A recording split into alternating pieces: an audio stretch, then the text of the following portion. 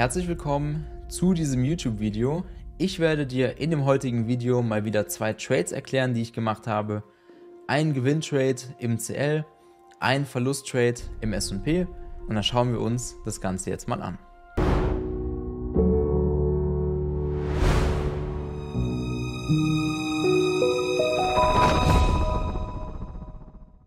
Ja, wir haben hier oben links den 5-Minuten-Chart, unten der Footprint-Chart, in der Mitte das Orderbuch, hier rechts das Market Profile auf Tagesbasis und unten das Market Profile auf Wochenbasis. Und wir sehen es hier im 5-Minuten-Chart, ich bin hier eingestiegen, da bin ich wieder ausgestiegen und die Idee von diesem Trade war folgende.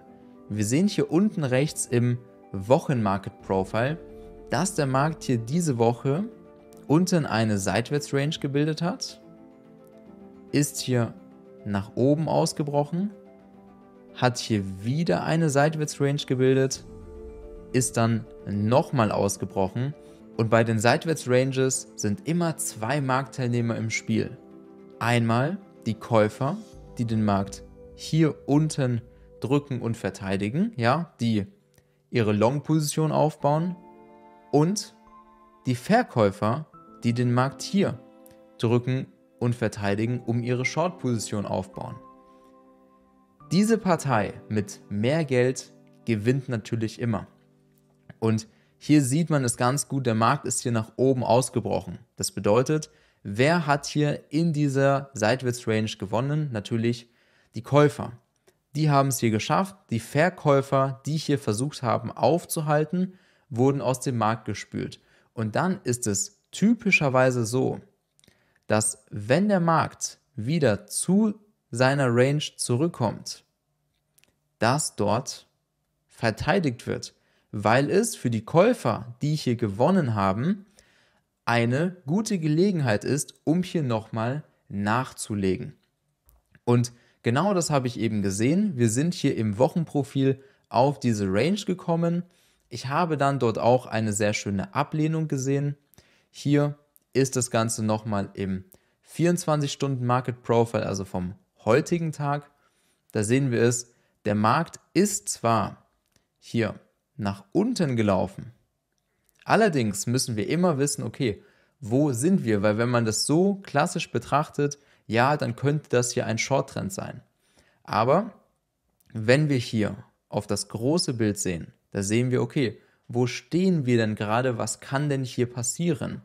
Und zudem waren wir auch vom 24-Stunden-Market Profile an einem sehr interessanten Preisbereich, wo man eben auch eine Ablehnung erwarten kann. Ich handle immer die Ideen, die ich im großen Bild habe, die handle ich dann im kleinen Bild. Deswegen gehe ich dann in, in dem Fall hier 5-Minuten-Chart und schaue, was der Markt macht. Hier sieht man es im 5-Minuten-Chart links. Der Markt hat hier eine schöne Ablehnung gezeigt. Er wurde hier aggressiv nach oben gekauft, was für mich das Zeichen war, okay, gut, hier ist vorbei, sehr wahrscheinlich. Ja? Hier wurde der Markt aggressiv nach oben gedrückt. Wir sehen es auch im Volumenprofil.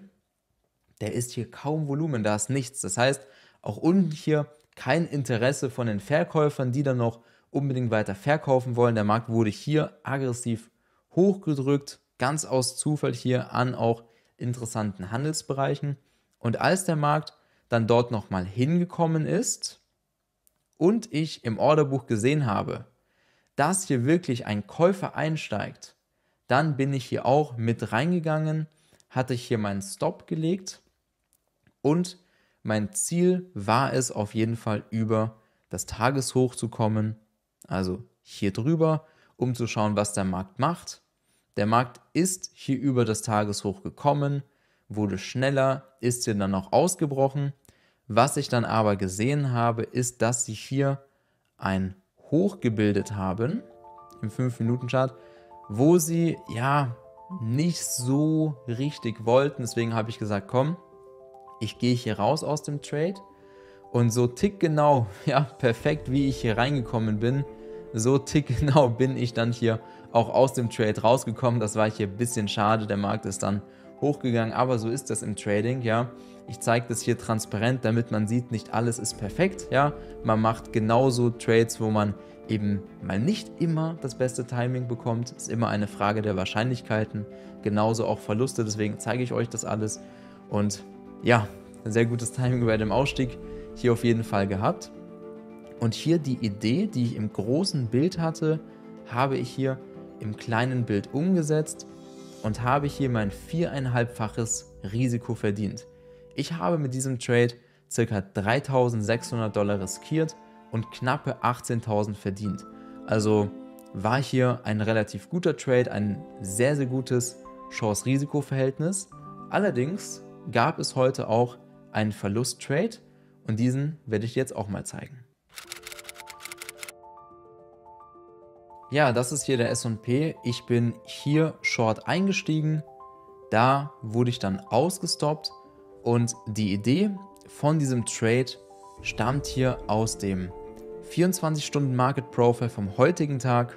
Und zwar, der Markt ist hier heute wirklich schön aggressiv nach unten gelaufen.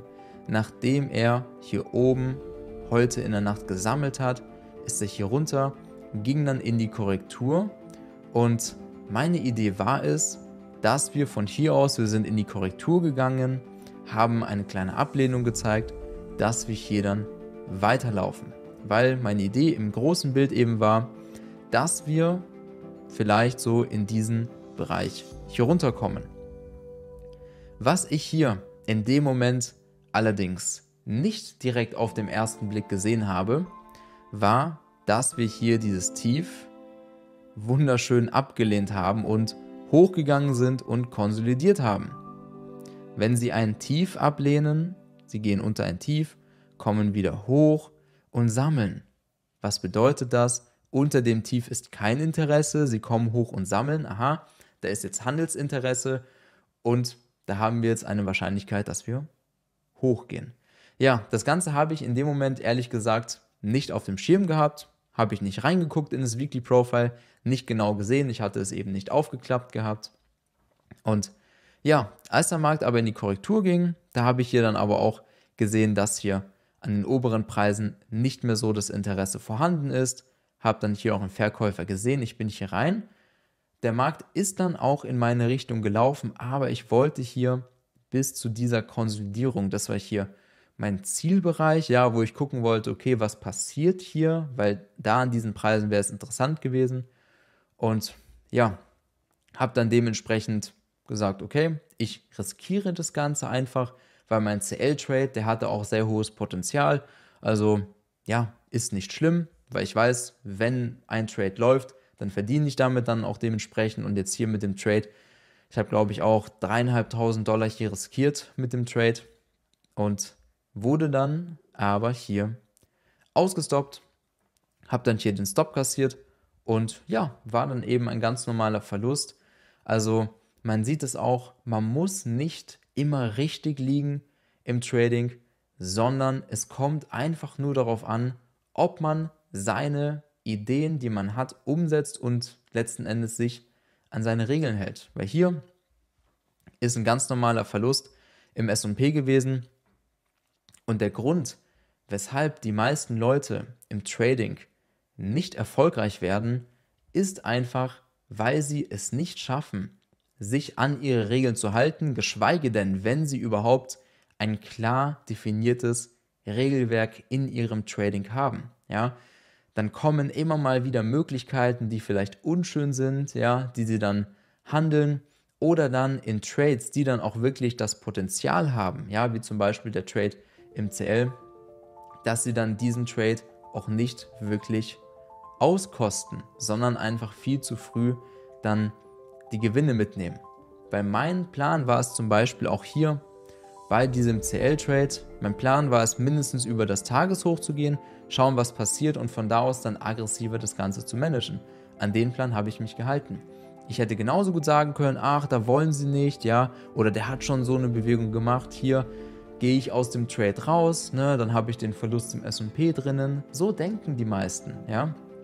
Und genau deswegen werden die meisten Trader dann einfach nicht erfolgreich. Also ich wollte dir hier mal so einen kleinen Einblick in mein Trading geben, dass du einfach siehst, Verluste sind ganz normal, Fehler auch hier im S&P hätte ich das Weekly Profile aufgeklappt, ja, dass sie einen Tief abgelehnt haben und ich bin da Short gegangen, war natürlich auch irgendwo ein bisschen zum Scheitern verurteilt, aber ich sag dir ehrlich und offen, Fehler im Trading gehören einfach dazu, das ist das ganz normale Business. Schau einfach, dass du deine Gewinntrades auch wirklich auskostest und auch wirklich deine Ideen und deinen Plan umsetzt. Ich habe ganz klare Marktszenarien definiert, damit ich genau weiß, hey, unter welchen Szenarien handle ich. Bei mir im Trading ist alles im Vorfeld ganz klar definiert. Ich habe ganz klare Marktsituationen, in denen ich handle. Das heißt, wenn der Markt das macht, mache ich das. Wenn der Markt das macht, mache ich das. Nicht einfach random, wie es die meisten versuchen dann irgendeine Bewegung zu interpretieren oder auf das zu reagieren, was der Markt einem zeigt. Das ist ein riesengroßer Fehler, dass man denkt, auf irgendetwas im Markt reagieren zu müssen. Nein, du brauchst einen ganz klaren Tradingplan mit ganz klaren Szenarien, wann du tradest und wann nicht, was du im Chart sehen willst, was du im Footprint-Chart sehen willst, was du im Orderbuch, Market Profile sehen willst, ganz klar definiert, wie und wo du deine Stop legst, wie du dein Trade Management machst, das muss alles ganz klar definiert sein und daran solltest du arbeiten und nicht versuchen, auf jede Bewegung zu reagieren, alles Mögliche zu interpretieren. Ja, versuchen dieses Freestyle Trading. Das machen die meisten Leute und genau deswegen sind auch die meisten Leute nicht erfolgreich. Und wenn du das Ganze lernen möchtest von uns, dann kannst du dich auf www.knebel-trading.com auf unser Mentoring bewerben. Wir bringen dir einen ganz klaren Handelsstil bei, sodass man ganz genau weiß, hey, das ist einfach ein Copy-and-Paste-System, ganz klare Marktsituation, wann handle ich, wann handle ich nicht, wie muss der Markt aussehen, was will ich im Market Profile sehen, was muss ich im Chart sehen, im Orderbuch, also ganz klar vorgefertigte Regeln, was man einfach nur umsetzen muss, wo man von uns unterstützt wird. Da kannst du dich bewerben. Wir schauen dann, ob du das Potenzial hast und ob wir dich in unsere Community aufnehmen. Und in dem Sinne würde ich sagen, ich wünsche dir jetzt noch viele gute Trades, mach's gut und wir sehen uns im nächsten Video. Bis bald.